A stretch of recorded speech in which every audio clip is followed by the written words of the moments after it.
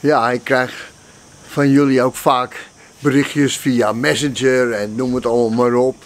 En meestal zit daar altijd wel weer een verzoekje bij. En die zegt: Harry, je vergeet toch niet de kopschoppers uit Mallorca. Blijf daar nou aandacht aan besteden, alsjeblieft. Want overal in de media valt het bijna altijd stil. Maar jij bent nog een van de weinigen gelukkig die daar af en toe iets over zegt. Ja, vrienden, en daar hoeven jullie geen zorgen over te maken. Want ik blijf dat doen. Ik blijf daar iets over zeggen. Zeg maar, die moord op Carlo Heuvelman uit Zoetermeer. Ja, dat is nu ruim een jaar geleden. En iedereen denkt bij zichzelf, komt dat ook nog voor de rechter? Ja, ik geloof ergens in oktober of november, dan gaat dat gebeuren. Ja, en ik heb al een paar keer gezegd tegen jullie, bereid je erop voor dat die gasten gewoon, dat die er gewoon mee wegkomen. Dat, ja, ja, ja. En dat, dat heeft met twee dingen te maken, denk ik. Het heeft te maken met gebrek aan bewijs, want ze zoeken zich bij dat Openbaar Ministerie, zoeken zich helemaal te pletter naar, naar camerabeelden en getuigen. En die kunnen ze maar niet vinden. En af en toe doen ze weer eens een oproepje en dat, daaruit blijkt paniek. Ze hebben, ze hebben dus geen bewijs. En die jongens, zeg maar, die dat hebben gedaan, die kopschoppers, die wijzen gewoon lekker naar elkaar. Die zeggen, ja, hij was het, hij was het, hij was erbij, die heeft geschopt, ik niet. Ik was helemaal niet in de buurt. En zo, zo, zo wordt dat maar moeilijk en moeilijk gemaakt. Plus dat zij hebben gewoon hele goede, vanwege de poen van die ouders, jullie weten het hè, jongetjes uit het gooi. Die hebben hele goede advocaten. En die hebben dus bijvoorbeeld ook die Peter Plasman. Ja, en ik neem dat die Peter Plasman niet kwalijk, want wat heeft die nou gedaan? En daarom kom ik weer even met de kopschoppers terug.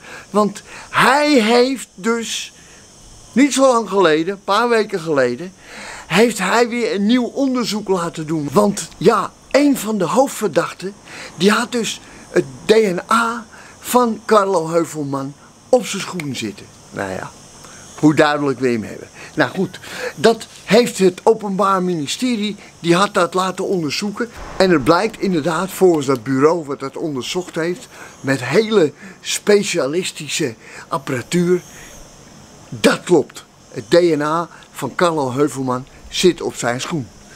Maar wat heeft Plasman nu gedaan? Die Peter Plasman die is naar een ander bureau gegaan.